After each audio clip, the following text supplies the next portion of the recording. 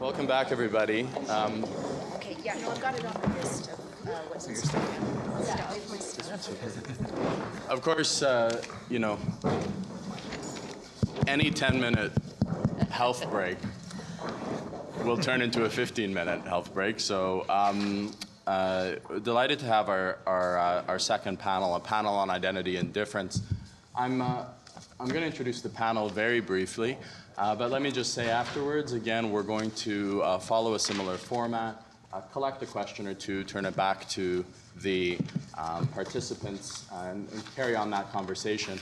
And I do want to confirm that those of you that are in the uh, perimeter table, um, we do have a mic, and if you have a point, please uh, put up your hand and you'll be attended to. So when we come back to that, please don't be, uh, don't be shy on, on that. Um, uh, introduce this uh, excellent panel on identity and difference. Um, you're going to hear from uh, Sujit Choudhry um, from NYU, a fascinating paper on uh, both plurinationalism and religion, a, a, a- a wonderful exploratory piece, uh, really provocative. Um, Avigail Eisenberg uh, will be speaking about rights in the age of identity politics. Um, Avigail is uh, former colleague and good friend from University of Victoria, and our discussant um, is uh, our very own Bruce Ryder. And so, uh, thank you all for participating in the panel. And are we going to begin with you, Sujit? Yes. Sure. Okay, Great. that's great. So, uh, so this is a paper. So first of all, thank you for uh, the invitation. Uh, it's wonderful to be home, and it's uh, terrific to write a paper about Canada. So, because uh, those of you who've read this when it came around at midnight last night, um, uh, you know, th- just as, unfortunately that's the way my life is. Um, things are always late, um, but um, or, or just in time. But th- this is a very Canadian paper. It's about uh, it's about Quebec, uh, religion, uh, religious accommodation, and, and the Supreme Court, and it's something I've been thinking about for a while, and I think that um, I, th- I think that the, the recent uh, Quebec election and the, the proposals for a charter of secularism and just the latest iteration of, of this type of drama uh, that's happening in Quebec that you don't see uh, very much in the rest of Canada, and that's really the motivation for the paper. And so the, so the, so as you know, um, the, the, you know, freedom of religion has uh, generated a lot of case law uh, in the last 10 years, a very interesting body of case law. Uh, some of these cases are um, decided on administrative law grounds. Some of these cases are decided on charter grounds, and there's a rich kind of literature around this material that Ben and Bruce and others have contributed to. Um, but the, what, what I want to do is kind of engage with a subset of this case law um, from a, the angle of kind of Quebec, Canada. And what's interesting for me is that a disproportionate number of the cases come out of Quebec. And so I'm thinking in particular about Amselem, LaFontaine, Multani, Bruker, and SL. And, and they were, uh, and a number of those, of, of those cases were adjudicated under the Quebec Charter. And what, what's very interesting is that the court divides in different coalitions, but divides often on national lines. Uh, in these cases, uh, where Quebec judges, particularly Francophone judges, uh, take a different view on, on many of the issues that were presented, uh, and in particular, Justices uh, uh, LeBel and then, uh, and then to the end, Deschamps.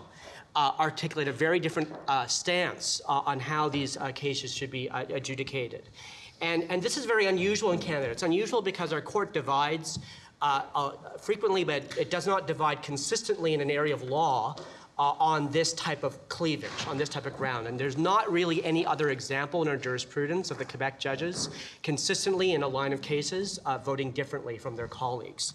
And, and so, and what's interesting is that it, this occurred on this, this, this drama, um, occur, which I think is coming to an end uh, in the SNL case, occurred at a time of intense political debate on these issues within Quebec, and also what I think is a, a, a- great cleavage between Quebec and the rest of Canada on how we think about questions of, of reasonable uh, accommodation. And, and so the and so the and, and the cleavages on the court sometimes reflect this broader cleavage uh, within Canada uh, on this issue. And so, uh, and so what I want to do is in this paper is kind of reread these cases uh, through the through a Quebec Canada lens. And and what, what, what I what I what I what I want to begin by doing um, is to kind of link these. Uh, cases to an earlier episode uh, that involved the Canada uh, Quebec nationalism of the charter, and that's the language litigation, right? So let me just begin by framing it that way. So the so as you know, Uh, the charter was part of Trudeau's nation building project, one of the um, biggest uh, sources of resistance that was in, within Quebec. And the reason why is that there was a fear that, uh, that the charter would stand in the way of, of linguistic nation building. In fact, it was deliberately designed to do so. And so this generated a number of cases uh, in the court. And so the, the big three cases are Ford, on, on Bill 101, uh, but also um, the Quebec Protestant School Board case on the Canada Clause, uh, and Solski uh, on uh, not the Canada Clause, but the provision in, uh, in Section 23 that grants people who've had some of their language in English in another province the right to continue to have their language in English, their, their, their education in English in, in Quebec. And, and so what's, very, what's very interesting about these decisions is how they're structured, right? So, so first of all, they're controversial, right? They're, these are issues are very controversial. They're very divisive, and they're very divisive in Quebec, and they're also important to Quebec nationalists, right? There's a lot of attention focused on the court, and so the court behaves consistently across all three decisions in the following way. First of all, it says that these laws are unconstitutional because they contravene the charter, right? So they, and they do that unanimously, okay? Um, but secondly, the court says uh, that uh, nonetheless, although the law is unconstitutional, um, it's, it's unconstitutional not because the object- objective is illegitimate. In fact, the objective is fine. It's just the, respo- the response is disproportionate, so it fails at minimum impairment. And either it says it's not minimally impairing or it reads it down, like it did in Solski, to, to keep it on safe constitutional grounds. And then the third, the judgment is, is always in these cases from the court, speaking institutionally. As we know, that's done very rarely. Uh, and so it's not as if, and, and there's many other cases where the court's unanimous, but there's, a, there's an author to the opinion. Here, you have the court speaking institutionally, which means it's speaking in its collective voice. And so the, so the question is, why would the court behave in this way? In these very high profile cases from Quebec. And I, I think this is quite deliberate, right? And, and, and the reason it's, it's the courts engage in this strategy is, is this that, as we know, the court's a regionally representative body. And the Quebec representation of the court is of a very special character, right? If you look at the history of the Supreme Court Act, Quebec's representation is the only representation that was always guaranteed by statute. Uh, since 1949 and the abolition of appeals to the Privy Council, uh, Quebec's representation has been uh, set at three. That then in 82, in some manner, that was entrenched. And the other uh, dimensions of the court's regional representativeness are a matter of political convention. And, and, so, and so, so there is something special about the Quebec composition of the court, and the idea is that it somehow reflects the plurinational character of Canada. But what's, and that we all, I think everyone understands, but I don't think has, what has been theorized is what impact the presence of Quebec judges on the court is meant to have on the adjudication of cases. Okay, uh, and so, and particularly cases coming out of Quebec, and what's and so juxtaposed against their representation, the Quebec judges have no special role institutionally within the court. They get one vote. Um, they don't get any special status except in Quebec appeals, right on the civil law, where you often have a five-judge panel, but. But in, eh, but in most other cases, Quebec judges are just like the others, right? And, and so, uh, and so the, so, the, so, the, so the hypothesis is that on, on, on cases of particular importance to Quebec, in particular the national project, the Quebec judges might play a different role. And, right, and the different role is this. Imagine a counterfactual uh, in uh, Ford or Quebec Protestant School Board or Solski where the court had divided on national lines. Okay? Uh, and so the Quebec judges said this is fine. It, it, it, maybe it breaches the right, but it's, it's, it's the, the limitation is justifiable. And then the majority uh, strikes it down, and it and, and even goes further uh, than uh, than the majority act, than the court actually did in those cases, and said the objective is illegitimate because it's somehow discriminatory.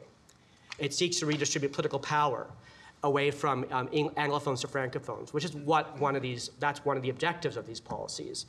And so that, if the court had done that, it would have been a catastrophe, right? It would have been catastrophic for the court. It would have been catastrophic for the charter. Uh, if the Quebec judges had continually dissented uh, in these cases of extreme importance uh, to Quebec, uh, it would have undermined the legitimacy of both the court and the charter. And so there's strong pressure uh, for the court to speak in a voice, in a single voice.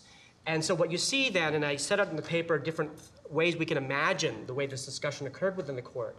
But however one looks at this, whether the judges were being strategic or whether they were deliberating on these issues, where the Quebec judges were, are, uh, you know, particularly able to alert to their colleagues the importance of these issues in Quebec, they got it together. They got it together and they spoke in a single institutional voice, and they always have on these cases. Okay. So then, I, so I look at that kind of drama, and then I compare it to these cases. And what's striking is that in these cases, there is again, um, issues of religious accommodation are a point of binational cleavage, as language was and continues to be. But the courts in these cases is dividing right? And so uh, you have, you know, Deschamps and LeBel in particular, until this spring, um, really striking out uh, from, their, from, their, from their colleagues and articulating a different vision of the relationship between, uh, between uh, rel- organized religion uh, or institutionalized religion and the state. Uh, and so the and so the, the, the you know the, these cases are, are are litigated against a certain backdrop, and so you know outside of Quebec and in the court's generic freedom of religion jurisprudence, there's a lot of kind of evolution of the doctrine until these Quebec cases come up, and so essentially what you see in, the, in a nutshell is that the courts worked at a, you know begun to work out the idea of what freedom of religion consists of. It consists of freedom to and freedom from religion, and and there's kind of dimensions to that. Um, it, it hasn't worked out what constitutes a religion, and, uh, but and also, very interestingly, um, there's no notion of anti-establishment or non-endorsement that is consistently worked out in Canadian case law. And one of the reasons for that is that there's no clause that is the or provision that's the natural home for that. Those ideas kind of get are raised. Um, they're particularly important to Section 1 in the Big M case. Um, but um, they, they don't really have a, a firm rooting in Canadian law. And, uh, and, so, and so what the courts have been doing instead is to kind of extending the notion of coercion um, to kind of economic coercion or psychological coercion to cover some of the same space as an anti-establishment or non-endorsement provision would do, but they, you can't do that, right? Um, it doesn't take, take it all the way. In particular, symbolic endorsements or intermingling uh, kind of problems uh, don't really aren't captured there. So then you have these cases, right? Amselem, um, LaFontaine, Bruker, um, and um, SL, and Multani, right? So very quickly, what do I want to say about these cases in five minutes, right? Okay. Uh, so in, in Amselem, uh, what's very interesting about the case uh, is that you have the dissenting judges, so it's LeBel Deschamps, written by Bastarache, uh, who basically, um, although there's a big disagreement with the majority about whether and what the test should be for what constitutes a religious belief and conduct motivated by it, there's also a very interesting methodological dispute between the judges about how to assess the problem of reasonable limitations under the Quebec Charter, right? And the majority basically takes an approach that I think is very much akin to what you'd see under Oakes, right? Which is kind of factual, empirical, uh, tries to es- establish the degree of impairment on the different interests at stake, and is actually has a healthy skepticism about the asserted aesthetic interest. Uh, that was invoked to not build a sukkah said that this is almost a, uh, it almost comes close to saying that this is like they just don't like difference, right? They don't like religious diversity, and so we're not even going to give that any weight. The the the dissent goes out of its way to say that questions of reasonable accommodation are irrelevant to how we think about limitations under the Quebec Charter. They have no role here. And so we have to think about these differently. We have to think in terms of the language of reconciliation of rights and harmonization. And so what does that mean? It's, it's, it's a maddeningly vague judgment, right? There's kind of fragments of ideas, right? But what I kind of reconstruct is this idea that somehow um, you know, the collective interests of Quebecers, social harmony, a collective social interest, there are these codes, there's this code that comes up in Bastarache's judgment that refers to a broader set of interests around the character of common spaces that are owned and shared by all that ought to be free from um, issues that are potentially points of division, such as religious identity, right? And this idea, uh, I think, is the idea of the neutral state that, that gets picked up very powerfully by Justice LeBel in his dissenting reasons in La Fontaine, uh, where he says that, uh, the, you know, he sets out a theory of neutrality um, that in his way, uh, in his uh, case, cashes out in the idea that, that, that, that Section 2A only imposes a right, it's a negative right, not a positive right under the Charter. So there's no duty to assist the congregation that's seeking to have land rezoned for religious purposes in La Fontaine. I think that case is a mistake in the sense that what the congregation wanted was not a positive right, but a negative right to be left alone to build a place of worship on a piece of land that it owned. Uh, so there, it's, a, it's a mischaracterization of the claim to call it a neg- uh, to call it a positive right. Really, what I think, um, you know, what LeBel was getting at is this idea that when the, when when these accommodations are requested and sought from public authorities, they become entangled with, que- with questions of faith and, and religious institutions. And, and, and it's this idea of disentanglement uh, that I think LeBel is getting at uh, in his judgment that, that motivates his, his reasons.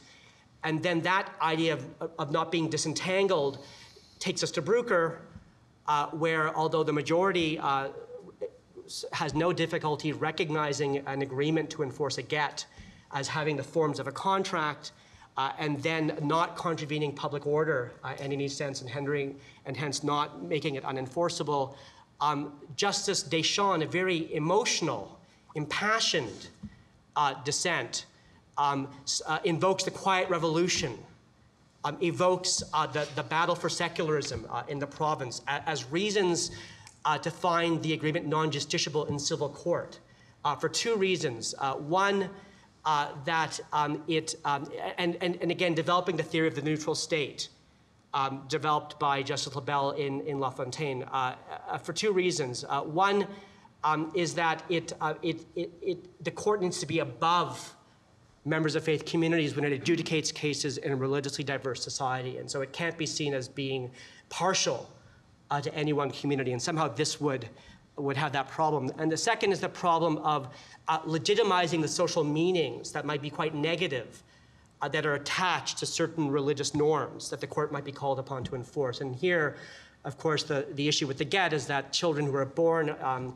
to a, a Jewish woman who has not attained a get are considered illegitimate under Jewish law. And so Justice Deschamps' concern was that by, by enforcing a requirement to get a get or an agreement to give one, uh, the court would be indirectly endorsing the idea that children who were born to a mother who hadn't received the get would be illegitimate. And Deschamps, Deschamps just couldn't countenance that, not in modern 21st century Quebec. Okay? Um, very quickly, uh, Multani and SL. So, so let me just finish the story. So Multani is, he doesn't fit this story, right? Because the court's unanimous. But, but there's a very interesting debate or division on the court of whether the case should be resolved in charter or administrative law grounds. And Justice Deschamps says this should be resolved on admin law grounds. And she gives utterly unconvincing reasons as to why that should be the case.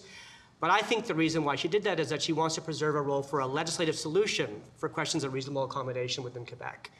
And she didn't want to settle or preclude that by resolving the case on, uh, on constitutional grounds. And in fact, she goes out of her way to say that questions, one reason to prefer to resolve the case on, on, on, on admin law grounds is that questions of reasonable accommodation really don't fit properly in the Section 1 analysis because they don't take into account collective interests or the broader public interest. So what's she, what's she thinking of, right? What's she alluding to? The idea that there might be a legislative framework for these claims that she does not want to foreclose uh, through the judgment. And then finally, uh, in SL, Deschamps now writes the majority judgment for the court uh, on the new ethics and religious curriculum that's coming in Quebec post the abolition of religious school boards. And so this curriculum is a, a curriculum that would be familiar to many of us in which children are educated about many religious backgrounds and also receive some schooling in ethics. And some Catholic parents brought a challenge uh, seeking an exemption, saying that this interfered with their ability to raise their children according to their faith. And what's interesting is Justice Deschamps says, no, you know what? I'm going to modify what the theory of the neutral state, right? That is absolute neutrality is impossible. We have to craft a notion of neutrality that recognizes the multicultural reality of Canada. And in that type of context, we will reject this claim and we will reject indirect, you know, she says implicitly, any future claim brought by secular parents who, re- who resent being exposed, having their children ex- exposed to religion in school. So that's the, so that's where the court's landed up, and I'll just end with a coda, which is to say that as we're debating questions of secularism again in Quebec, and the potential tabling of legislation to propose a charter uh, of secularism by the PQ, I wonder now whether the court will hold steadfast in its new um, consensus position. Uh, maybe it's, it's developed this consensus because it knows what's coming. That's it. Thank you, Sujit. Um.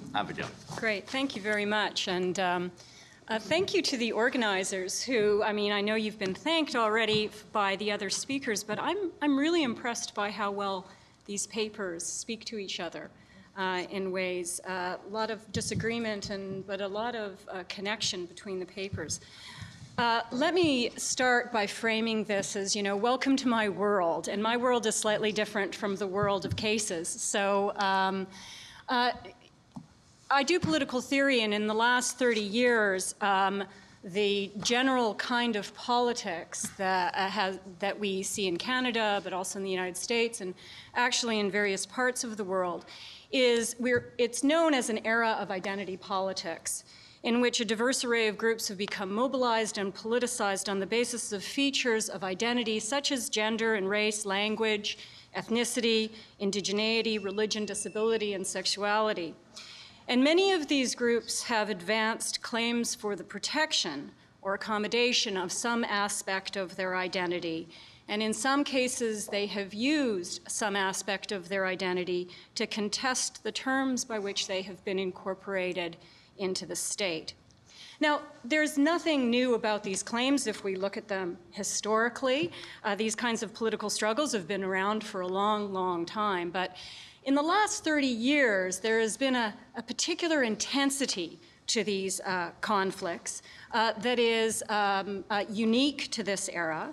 Uh, indigenous peoples throughout the world have mobilized increasingly on the basis of indigenous identity, whereby in many cases they didn't uh, uh, let's say 150, 100 years ago before the state, religious minorities have mobilized to contest the terms of their access to the benefits of citizenship. For example, by entering debates about the legal recognition of religious arbitration, prohibitions on wearing headscarves, kirpans, uh, blasphemous cartoons, the criminalization of polygamy, to name a few examples, and other uh, groups as well. Now, if we look at the political theory about this, there's been a lot of scholarship about this. Actually, not just the political theory. There's been a ton of scholarship about this, and most of us have spent our graduate school years or our, our, our years as professors or our undergraduates reading a lot of this scholarship if you look, took any sociology or uh, political science. And what you generally find is two, very generally, two kinds of literature. On the one hand, normative political theorists such as uh, Charles Taylor, Anthony Appiah, Will Kymlicka, James Tully, have written generally in an optimistic vein about these um, developments, about this kind of politics. What they've done is they've developed a lot of arguments for us as to why identity is a helpful and revealing way to understand injustice. And they've offered in their works a lot of compelling reasons why the recognition of identity is prima facie a means to respecting others by recognizing the depth of their attachment either to a language or to culture or to religion or to ethnicity, whatever it may be. And they've suggested that identity is sometimes a useful way to track social ex- exclusion and historical injustice of particular minorities. That by thinking about identity politics, we can have a good perspective, at least in some cases, on what the ends of justice should be, about how best to protect human rights, how best to protect equality for certain groups. Drawing on their view, a politics sensitive to identity claims can provide a helpful perspective for public decision makers because it can help reveal, not in all cases, but in some cases, what it means to treat people equally in genuine ways. And it can place pressure on public institutions, such as courts, to develop institutional reforms that interpret abstract rights from a perspective sensitive to culture, to religion, and other forms of identity. So that's the normative literature. Then there's the more empirical literature, coming from political science, coming from sociology, legal scholarship, not so optimistic at all.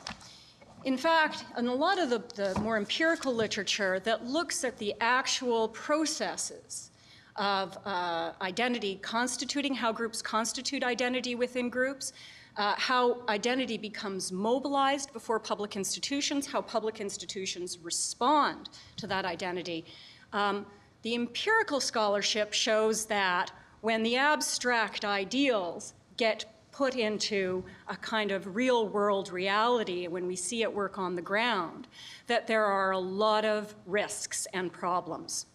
And generally, that literature can, su- suggests that there are four kinds of problems that we find um, when abstract ideals about identity protection get placed within the law or within politics.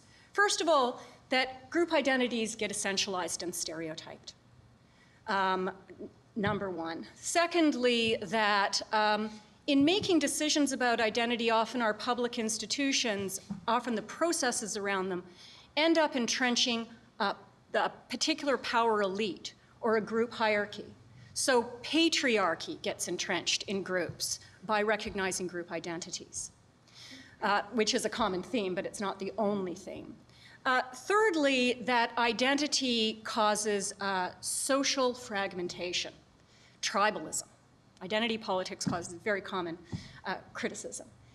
And fourth, that there's a form of co optation uh, that identity politics uh, ushers in, whereby groups get offered mild, modest forms of cultural protection, symbolic protection, where deeper forms of injustice go unaddressed. So, those are the basic four criticisms of identity politics. Now, what my paper does is it looks at the charter and tries to see uh, identity politics in the charter. The paper examines the risks of identity politics in relation to Canada's Charter of Rights and Freedoms. And as we know, the Charter coincides with what I have basically called the era of identity politics. And so it's very unsurprising to find that in many of its sections, identity is named, various categories of identity are named categories by which people can receive constitutional protection. You have Section 15, which we've heard Roz has talked about Section 15, there's Section 27, there's linguistic rights. There are all these groups, and all of those sections, and outside the Charter, there's Indigenous rights, all of those sections have had a fascinating effect on mobilizing groups to advance claims on the basis of identity. So there's lots of identity politics in relation to Charter jurisprudence. But what the paper does is that it looks at two particular uh, manifestations of identity. And what I'm especially interested in is the way in which these uh, manifestations uh, uh, reflect the dilemmas that we see in political theory, or that, sorry, that we see in the political theory versus the empirical literature. So one of the dilemmas is uh, found in um, what some people are calling an identity approach, whereby judges are viewing characteristics, uh, religion specifically, religious commitments and practices, as immutable. And uh, one of the people who talks about this uh, talks about it as an identity approach in the Charter. This is Richard Moon.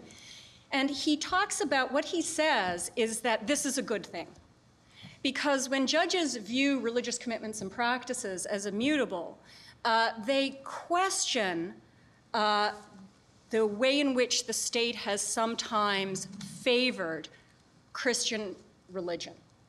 And they view that as potentially uh, denying dignity and respect to minority groups.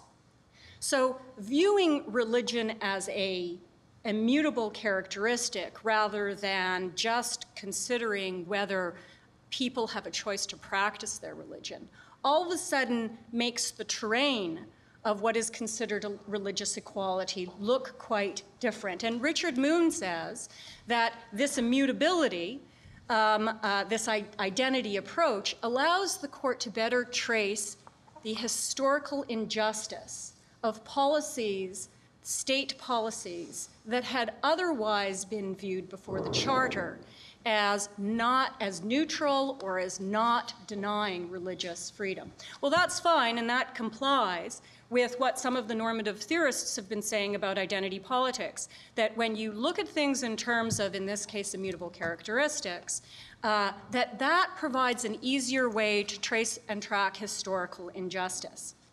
The problem, of course, is that the empirical uh, theorists or the people who have commented on this aspect and looked at a variety of cases that reflect a kind of, uh, let's say, courts looking at a characteristic as immutable.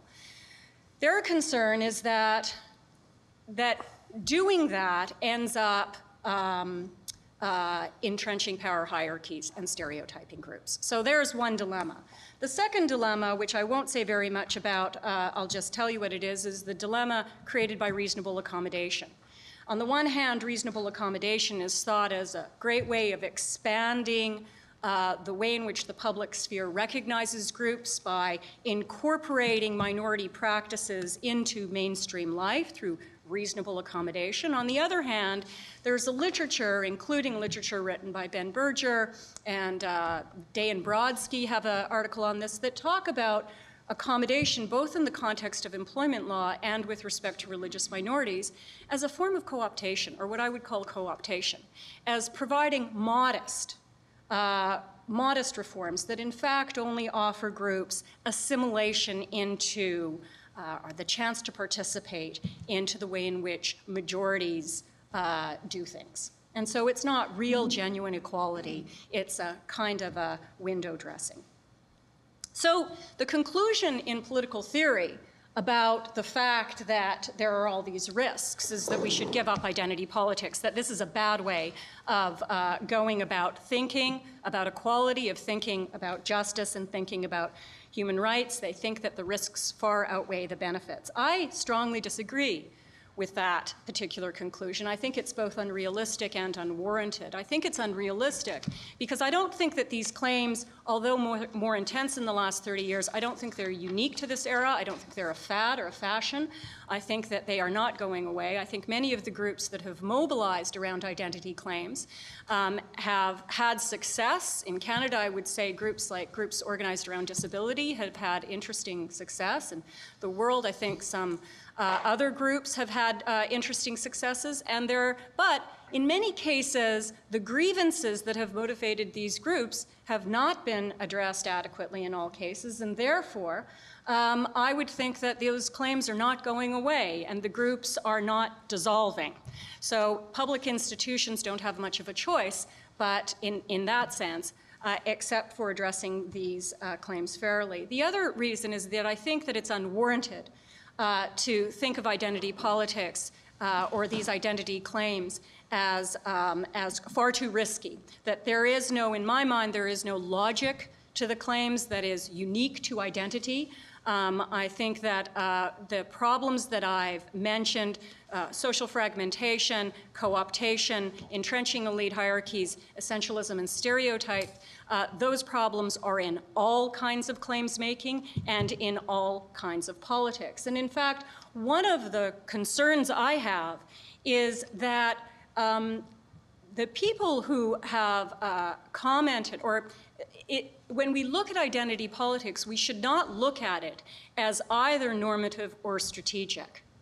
That in fact, we should look at it as both that these claims are both normative and strategic, and so what we should be focusing on is how public institutions can be designed, or the, what I'm interested in is how public in, institutions can be designed so that they are more able to maximize the benefits that we see and mitigate the risks.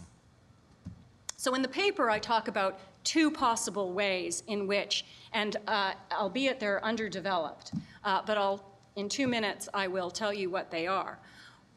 One is what I would call institutional humility. And that is, I'm interested in the ways in which we incorporate into our institutions, and you can think of the courts in this respect, the capacity to reflect on the failings of, uh, or the gaps in the way in which their, um, uh, their uh, decision making uh, can be fair to minority groups. So the fact that we have three justices on the Quebec Supreme Court, and Sujit, your paper gives me cause to pause about this, uh, but, but nonetheless, the fact that that has been incorporated in Canada, the fact that there is pressure in Canada to get minorities on the court, is just an example, it's just a very small example, of the way in which the institutions reflect on their own shortcomings and the way in which there is a drive to reform institutions so that they are better able to reflect on uh, uh, these shortcomings. The second is what I would call democratic space. So Colleen Sheppard's going to give us a paper about the, the way in which um, uh, judicial decision making has become much more, I think you call it process oriented, but the way in which, and, and that's very, an idea very interesting to me, the way in which not only uh, do we see a lot of forums in which groups can participate in uh, the articulation of their identities in relation to the kind of um, uh, laws and protections that they want. So in indigenous um, law, the duty to consult is a good example of that. But it's not the only example. But the way in which the courts uh, have also um, attempted to create democratic space by endorsing attempts that have been made within the public forum to um, allow groups to have a say in the way in which uh, their identities are represented in courts and the way in which abstract rights end up um, being interpreted in a way that is respectful of their identity. I know that's very vague, but it's an underdeveloped part of the paper, and my time is up. So uh, we'll leave it at that and um, go on to Bruce's comments. Thank you so much. Uh, Bruce, please. Thanks, Avigail. Thanks uh, so much, Sujit. It's a great, uh, great pleasure to um, start the discussion on, on these two wonderful papers by two scholars who I have so much uh, respect for. Um, let me say a few words about Sujit's paper and then a, a few words about Avigail, and and then we'll open it up to um, discussion. I was so delighted to have the opportunity to read Sujit's paper exploring the impact that nationality is having on judicial decision making in the context of Section 2A at, uh, at the Supreme Court of Canada. I think it's a, a, wonderful theme. As I was saying to Sujit a few, few minutes ago, it's one of those things that sort of registered as I've been reading the cases, but haven't really grappled with it and thought it through. And I think there's a very rich um, line of investigation here that Su- Sujit has opened up. Um, and much of what he has to say I found utterly persuasive. But there's some of what he had to say, and, and this is what I want to just pick, pick a bit of a, uh, a fight, uh, a fight yeah. yeah. or at least open open up for discussion. I think he's overreaching. Um, I don't know if it's like you left Canada and now you're more easily enlisted for by the Parti Québécois, for example, to stir up trouble here. But it feels a little bit like that to me. That um, uh, you're you're searching for divisions that I think there are definitely um, glimpses of what you're talking about. But I want to argue that despite those glimpses of a different attitude on the part of the Quebec judges on some of the subtleties of the jurisprudence, there's in fact a great deal of pan Canadian solidarity around attitudes to. Um, freedom of religion and um, and multiculturalism among the judiciary, and um, and so there's a counter narrative that I think needs to be told to to Sujit. So Sujit was pulling out the strands that supported his argument that there are real differences between the attitudes of the Quebec judges and the, the judges in the rest of Canada. And let me, I want to give a few, uh, a number of examples suggesting that hmm, they've got a lot more in common, really, almost all of the time. And the other thing I want to say before getting to that about, about this issue is, I think we're used to thinking about these issues in the context of federalism and, and, and language debates. And even there, you know, sometimes there's a predictable relationship between attitudes to, say, issues of provincial autonomy based on the province of a, that the judge has been appointed from. Sometimes not so much. And so I'm wary of talking about this as if there is some kind of predictable correspondence. I, I at the same time, we know that judges like Justice Beetz, for example, great. Uh, decentralist and very articulate, and not surprising that he's a Quebec judge who, came of age as a scholar during the Quiet Revolution. There's definitely something to these arguments. I don't want to deny them, but I think we have to be careful not to say, oh, Quebec judge, therefore. Mm-hmm. And um, there's an interesting interaction here between language and nationality. And uh, again, it's another reason to be wary, because I think language may be, or maybe even religion, uh, of the judges may be just as revealing as which province they were appointed from. And when I think of, say, someone like Justice La Forest, uh, a New Brunswick, he's, he's, a maritime judge, he's a New Brunswick judge, or Justice Le Dain, uh, Ontario judge, but he's really a Montrealer in spirit.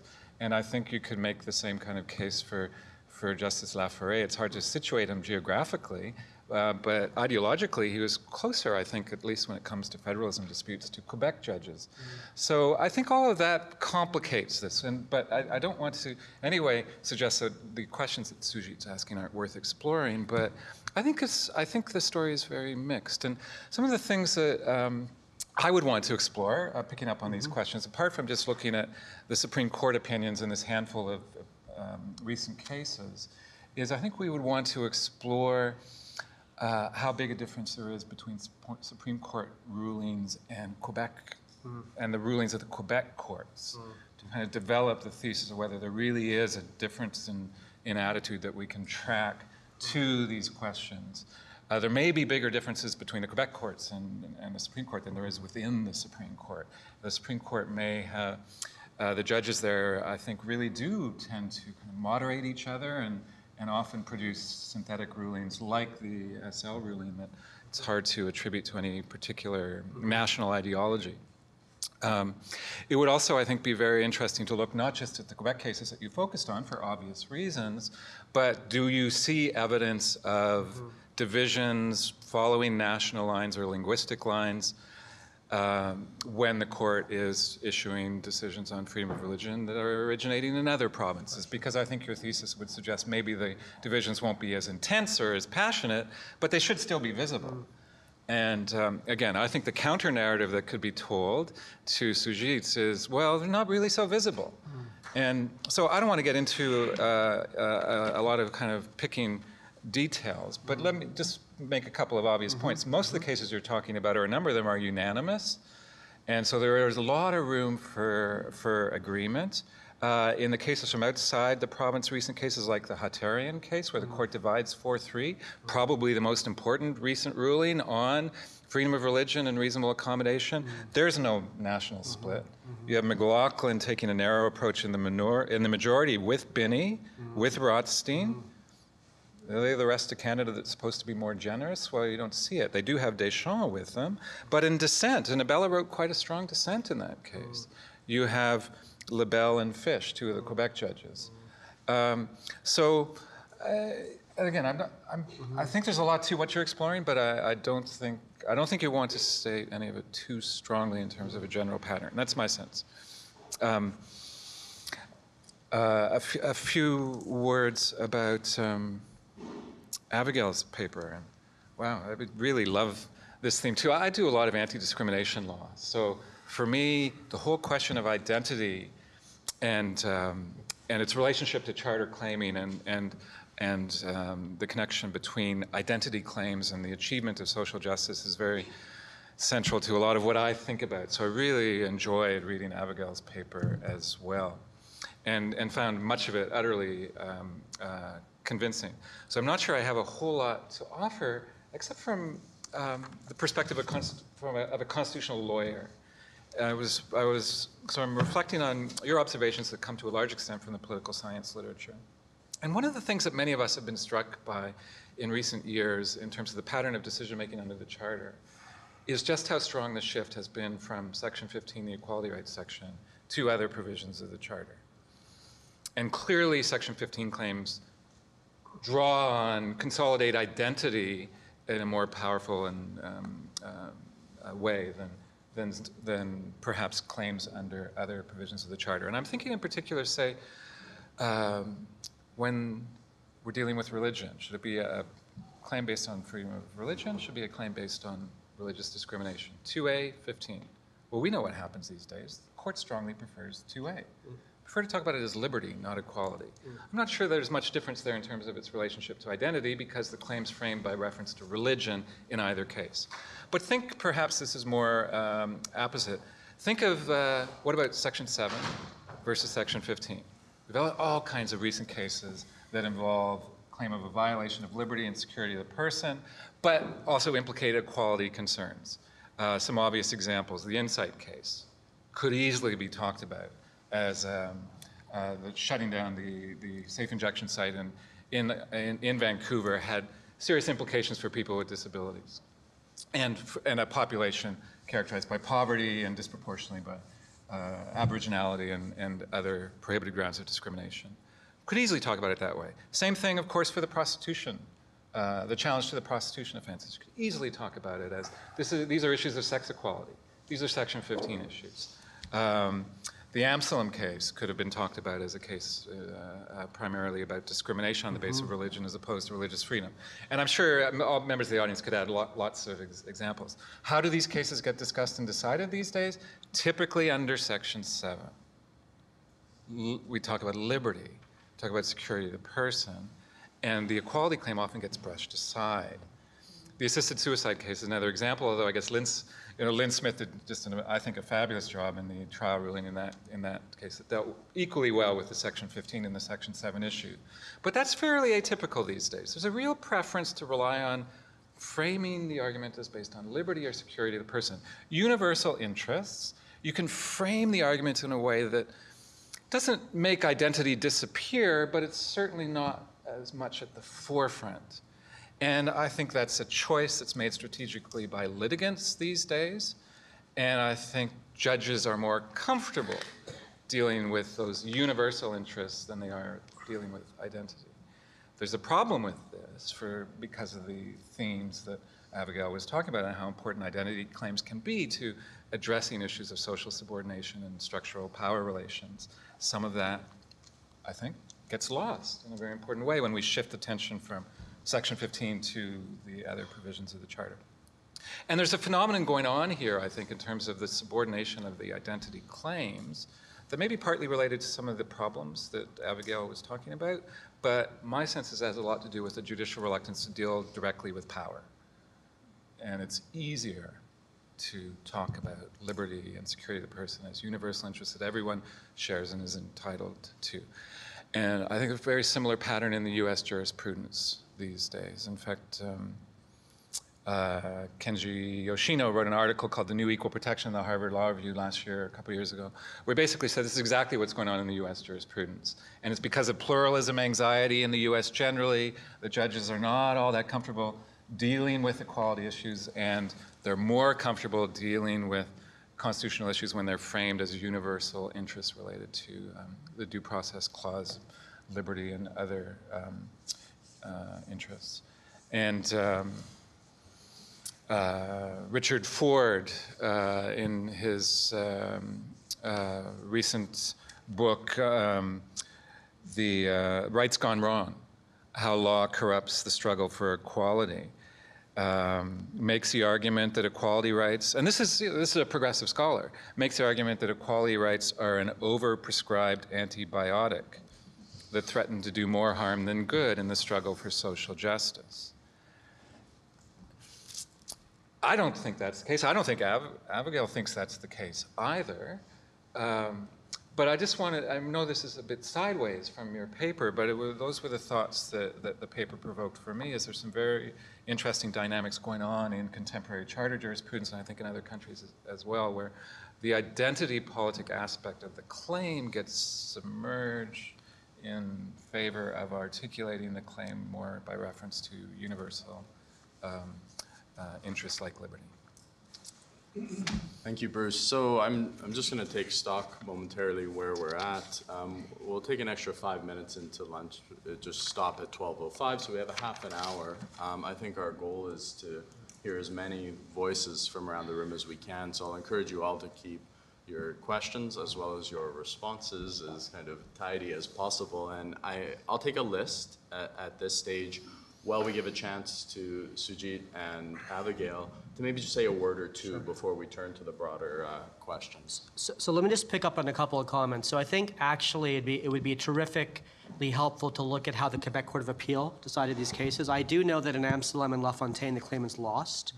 And, the, and so the court reversed, and there was very strong criticism of the Court of Appeal in Amselem, actually, by the majority in, in Amselem. You know, so, uh, but in Multani as well. I, I don't recall what, how the Court of Appeal went on Bruker, but I think it would certainly add an important dimension. In terms of your, your methodological point, we shouldn't be looking at where the judges come from and so on. Look, so here's my take on this, right? Which is, we're uncomfortable as Canadians at talking about this because that's not how we conceptualize our legal culture, number one. Number two, um, it doesn't happen all that much, right? So we can always, you know, say, well, you know, we don't, we shouldn't look at these issues because actually it's very hard to predict. I think that's right. And in fact, for me, the big example is, you know, a bunch of federally appointed judges struck down the Securities Act, right, or found it unconstitutional. So if anyone thinks that the judges are federally minded, just read the securities reference, okay? Um, but, they, on, but on the other hand, that's not, that's not to say that in a subset of cases that are about Quebec, it doesn't matter within the court. I refuse to believe that. I, don't, I, think, I think that the judges are acutely aware uh, in cases that involve the national project, and that I would include in that the Quebec secession reference. There is a, there is this anxiety, there, the, the judges make an effort to speak in unanimous voice. Why would they bother to issue a judgment in the name of the court that is unanimous in these high-profile cases? Where they, and they so rarely do so in other cases, right? Why would they do this consistently in this line of cases? I think it suggests something about the dynamic on the court uh, among the judges. So that's all I would say. Hutterite Brethren, I agree, it's a crappy decision.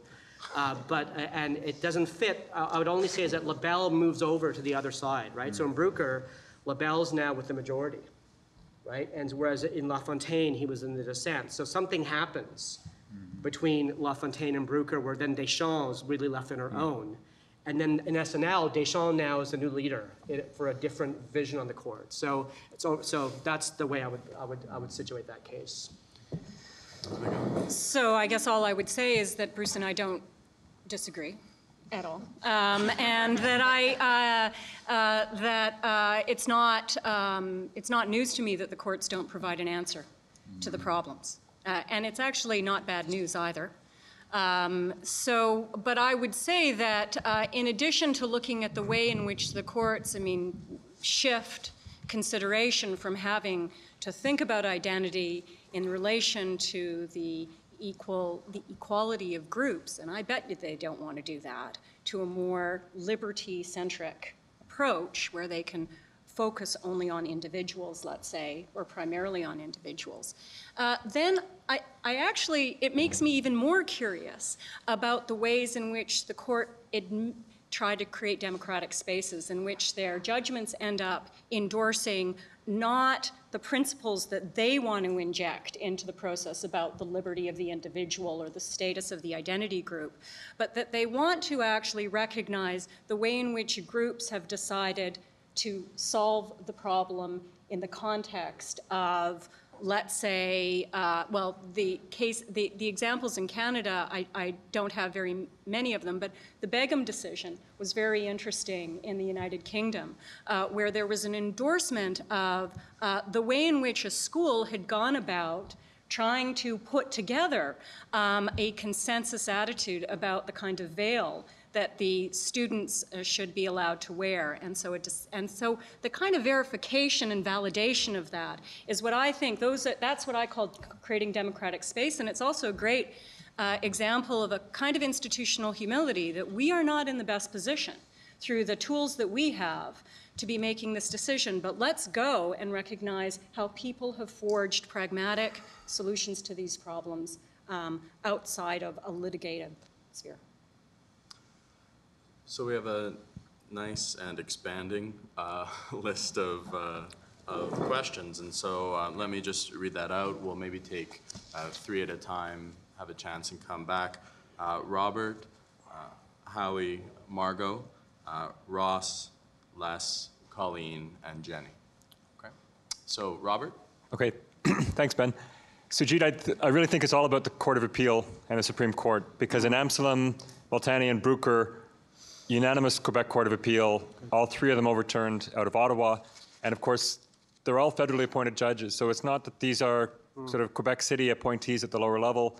It's federal appointed judges sitting in Montreal. Uh, and they're not coming at this thing the same way the judges are in Ottawa. So that, I think that's the real story.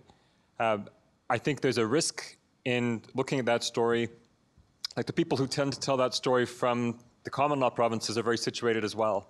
And so the sort of assumption is, of course, that the majority in Bruker got it right, or that that's the feminist position, or that that's the, the multicultural position.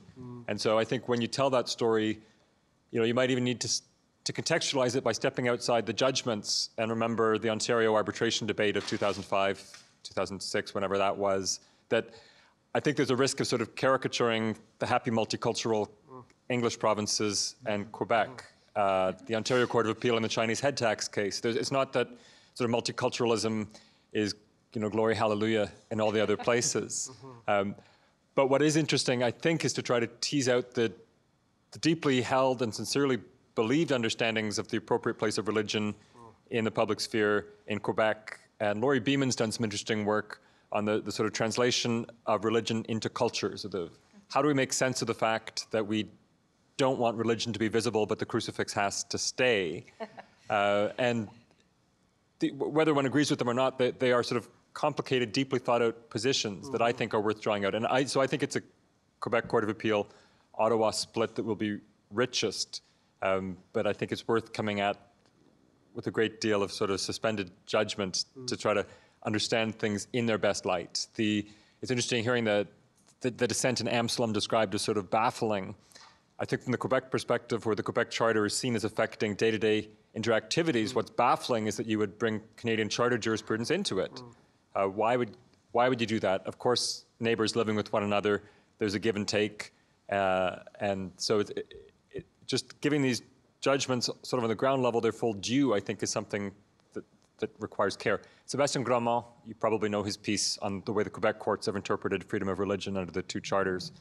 Uh, that might be worth looking at further. Howie, if you could just introduce yourself as well. Uh, hi, uh, Howie Kislowicz, uh, SJD student at the University of Toronto. Um, I was going to say um, some of the things that were said by uh, Professor Ryder and Professor Leckey here uh, in response to Professor Choudhry's paper. Um, what I was going to suggest, and it seems to me in your remarks that you've already considered this, was just to also look at the concurrences in the Supreme Court of Canada. That it's it's a little bit. Um, it's surprising where some of the Quebec judges end up in, in the cases that you've mentioned, um, and that Ontario judges end up siding with uh, the so-called Quebec position written by Justice Deschamps in, you know, in, in Bruker especially. Um, but what I, I think what I might have to add is uh, there's a case that's uh, pending at the Quebec Court of Appeal. It's been argued but not decided, which I think is a much much more interesting challenge to the ethics and religious culture case that was um, decided in SL. But it's a case brought by uh, Loyola, which is a, an English language publicly funded Catholic school.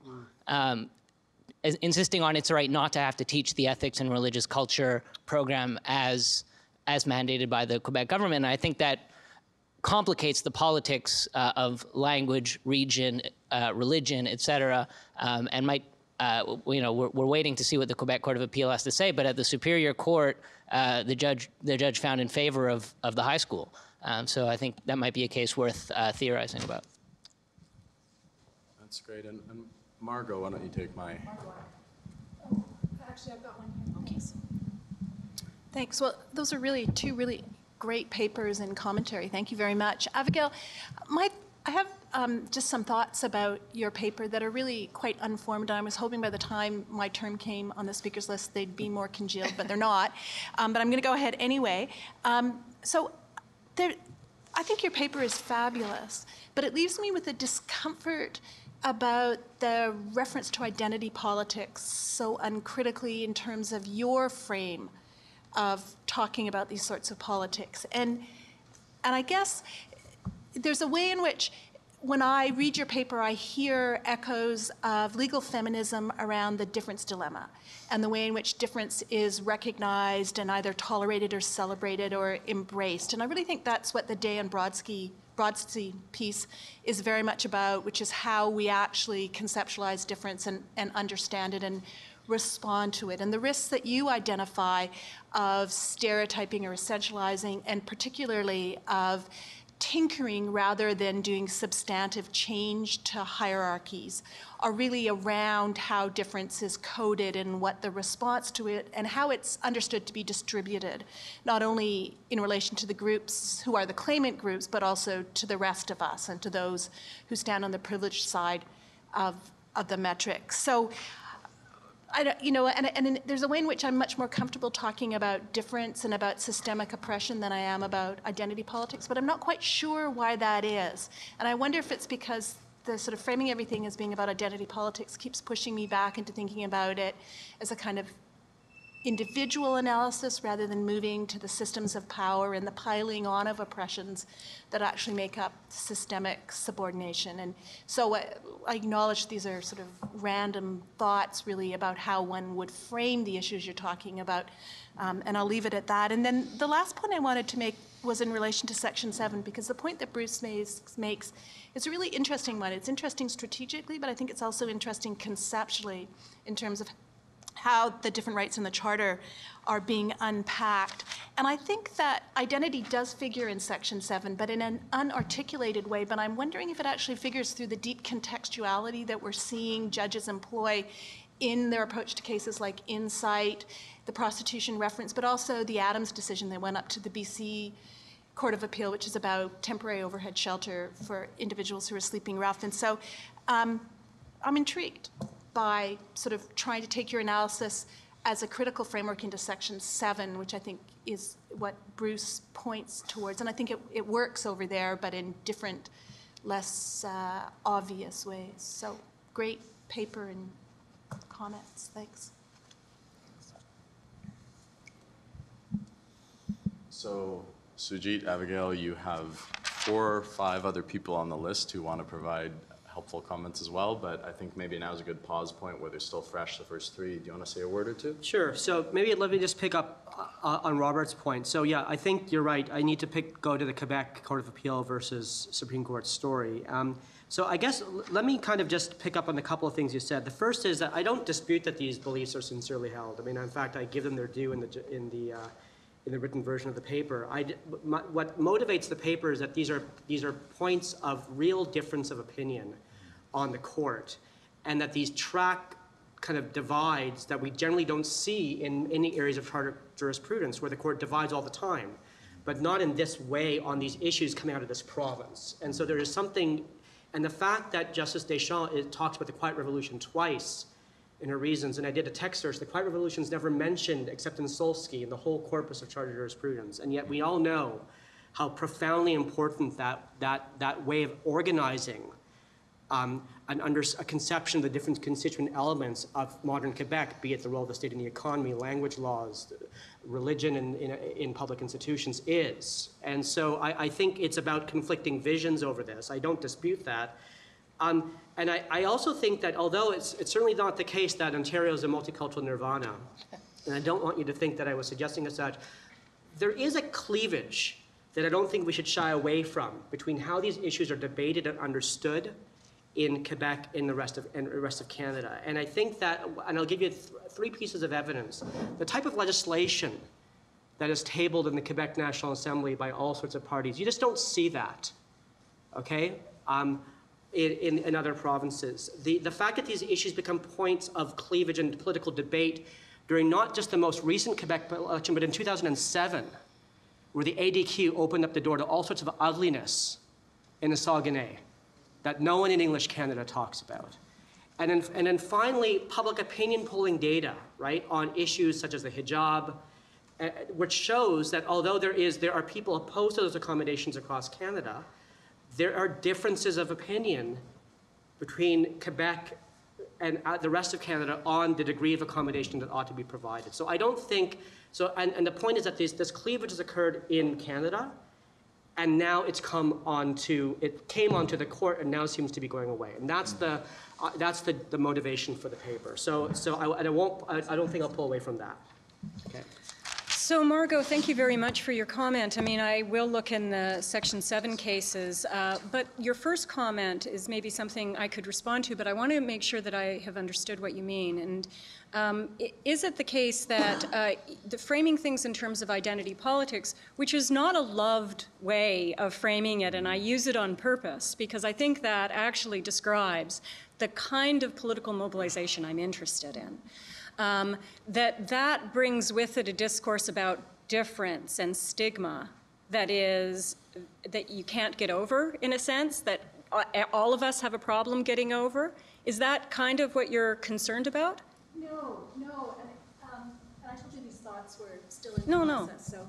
um, But what I meant is, uh, when I read your discussion of identity politics, I think of a discussion that takes place amongst legal feminist theorists around the difference dilemma, this idea of whether you perpetuate hierarchy, you actually transform um, through recognition of differences. So it's, it's that different language about talking. And, and I think you're absolutely right that identity politics has a currency and a descriptive value. But there's just sort of by, um, I don't know, I just, I just have some discomfort about that framing of what these kinds, a, a sort of singular framing of what these concerns are about, and wonder if actually sort of bringing in more explicit language about difference as a way to explain some of the risks associated with identity politics less complicatedly understood. That's all. So it's not a critique of your use of the term per se descriptively, but analytically, perhaps it's a linkage to another conversation that might amplify some of the risks you, you describe.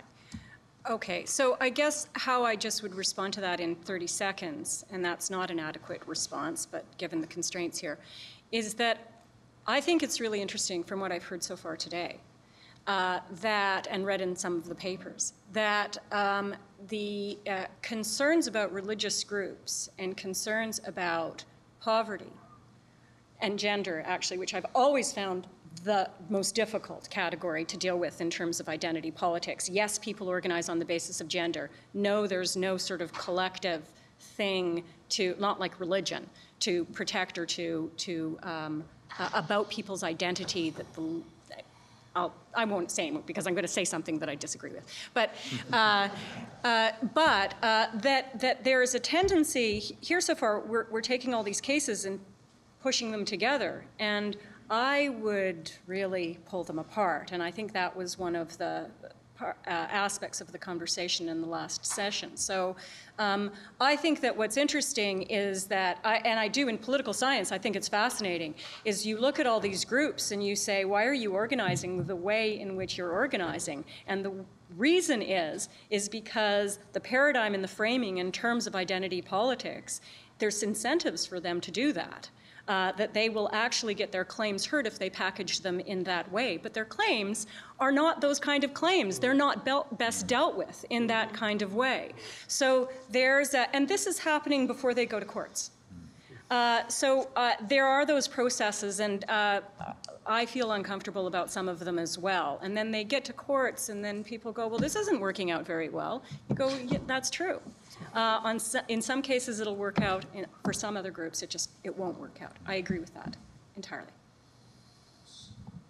So we have about 10 minutes um, left for uh, a few more comments and then uh, reflections. And uh, first, uh, Roz and then uh, Les. Um, please. So this is just a thought and maybe a question for Suj, which is, I wonder whether this is a really nice experiment about representativeness on the bench generally. I mean, you allude to that, and obviously this comes up a lot when one talks about gender and other issues. And the thought is maybe there's something about your contrast between the unanimity on issues relating explicitly to Quebec and the kind of total fragmentation on issues that implicitly involve plurinational issues, but uh, where it's much more sort of sub silentio, where, you know, the Quebec judges are, you know, re- religiously different from the uh, English-speaking judges, not in, you know, totally predictable ways, but there is a religious cleavage there, but it's a cleavage that doesn't track the basis on which they're appointed to the court. And so it's just the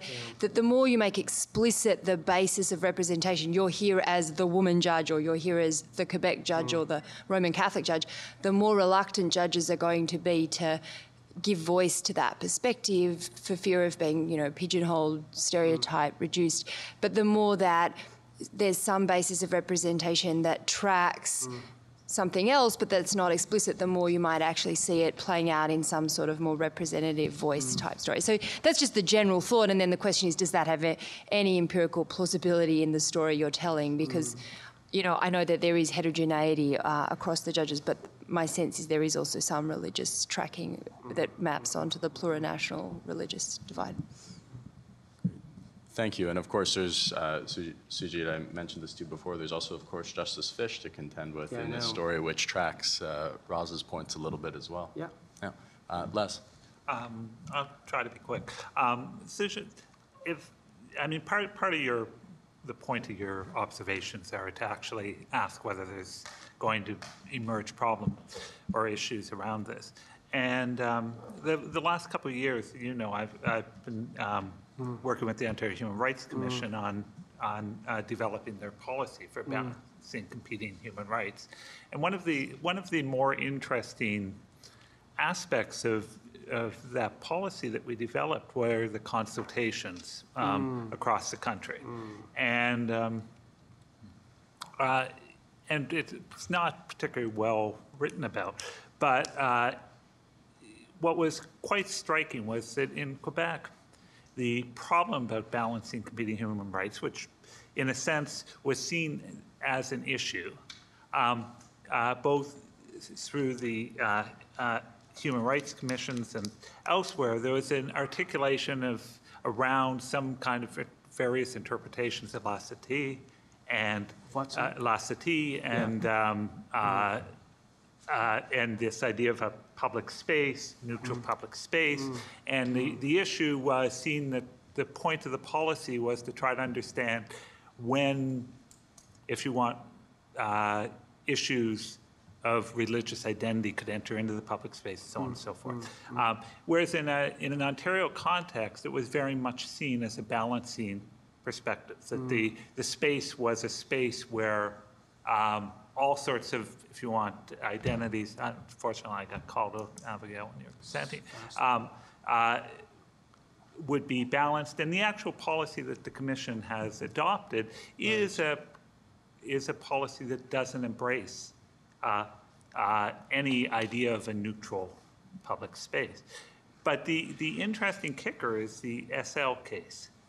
Because what, what happened about that case is that people in Ontario, particularly religious minority groups who we consulted with extensively in drafting this policy, uh, are actually very, very disturbed about that decision because they actually look at the denial of parental exemption and say, we thought that that was actually exactly the kind of things that were on the table when you developed this policy. This policy that the OHRC takes seriously doesn't close the door on that. And you look at uh, the SL decision drafted in a Quebec context, driven by a particular vision of what a policy around competing rights looks like, and you get a decision that, in our view, ties the hands of our prospects for getting parental exemptions around something like curriculum. Anyhow, so I'm just sort of pointing out that it, it may well be coming very much to a head. Interesting. Thank you, Les. Um, If you don't mind passing the microphone down to Colleen. Yeah, actually, I just have two very, uh, one very quick comment, um, and uh, for Sujit, and that is, I think, uh, Uh, I think a lot of the comments have emphasized how religion is a complex category, mm. and I think in the Quebec context, bringing in the racialization, the overlap between race and religion, particularly in terms of the treatment of new immigrants mm. and all of the leg- issues around the wearing of the burqa, for example. There's a, a- something there that you might want to bring, uh, take into account, as well as the intersection with gender and gender equality issues and the role of the state in advancing uh, conception of gender equality and Deschamps' ideal around gender equality as well. So which comes through in, your, in the Bruker Bruker, decision. Very much so, yeah. And finally, Jenny. Uh, I'm going to shoehorn my question into my comments later. Okay, that's great. Um, So with the final a minute or two, and then we'll give a, a final word to each. And Suj, I just wanted also to add in there on the point of um, if, if you stick with a story about cleavage, Right. I just want to um, raise the issue that it, the cleavage is difficult, I think, to describe as a cleavage about the production of a concept of a neutral state in Quebec Right. and something else in the rest of Canada. Right.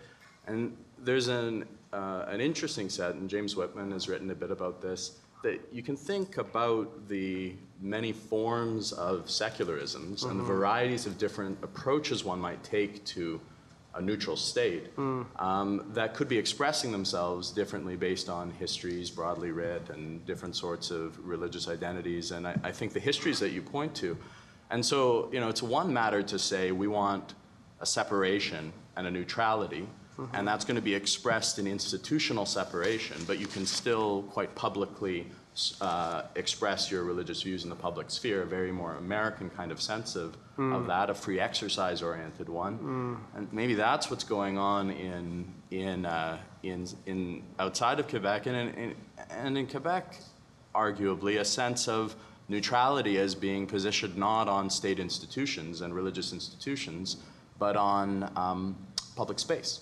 right, differently. And that institutional uh, ref- reflections um, are less problematic. And there's evidence of that if you're looking for it in Amselem, because the other point in Amselem that's very interesting is the interpretation of religion given by the judgment that you cite as the Quebec judgment really empowers institutional forms of religion at the expense of the individual forms of religion. It would favor those kinds of institutionalized, objective definitions of religion.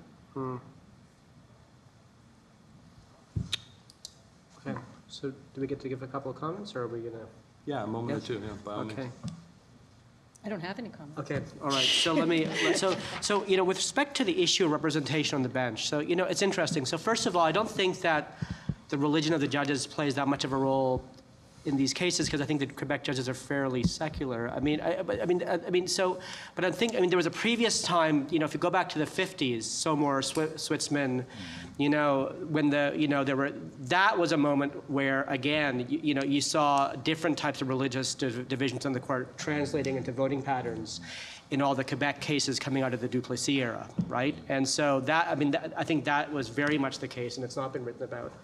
Um, I think on, when I, when I think about representation in the court, I guess what I'm trying to, what I do in the paper is set, is begin to outline a theory of how we can imagine deliberation in a multi-member court where you have judges identified with a particular constituency and what their role is, right? And given that there's no special voting rules, right? There's no, there's no special chambers, there's no special voting rules. So what do they do when they sit on, as a nine and issue unanimous judgment? What has gone on in, in the, uh, to, to- and, and what I, what I argue in the paper is that there's a sense in which the Quebec judges are alert to a certain social and political history uh, about the nature of the development of modern Quebec and the importance of certain issues, particular language, I would argue, that then I think convinced, persuaded their colleagues that to rule per se inadmissible these policies because they're illegitimate was just not on, right? That would actually just be a delegitimation of the basis of modern Quebec and a, and a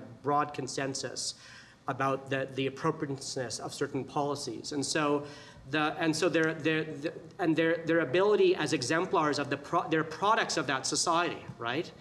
Um, their, their ability to, the fact that they've lived through that transformation and are products of it, I think, is the, equips them to explain or sensitize their colleagues to exactly the importance of these issues. And so it's kind of an Anne Phillips kind of politics of presence sort of idea, uh, applied, taken over from legislatures, but applied to multi-member courts uh, in these types of cases, right? So that's how I would think about that there. And, and so, uh, and what's interesting is that that didn't work in the religion case, in these cases, right? Because if you read, particularly, you know, Justice Deschamps' judgment in Bruker, which we've talked about a lot here, but also I think LeBel's judgment in Lafontaine is speaks in the same register.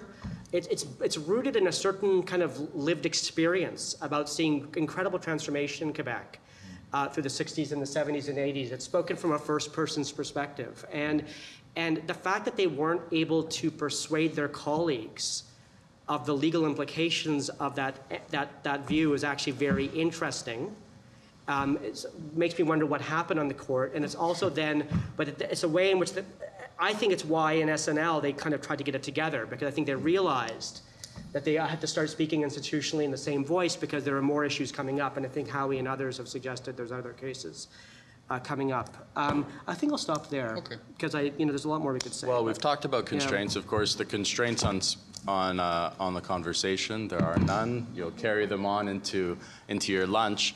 I just want to say a word or two. We'll reconvene at uh, 1 p.m. Uh, lunch, sorry? 1 p.m., yeah. And lunch is just outside in the kind of atrium. Please take the chance uh, to look around, explore uh, the new building. Um, this is a building just a year old or inhabited only a year now. And uh, there's, uh, um, there's some lovely spots. And so enjoy yourselves. Put the tablecloths we have to good use. Feel free to sit down and, and eat in here.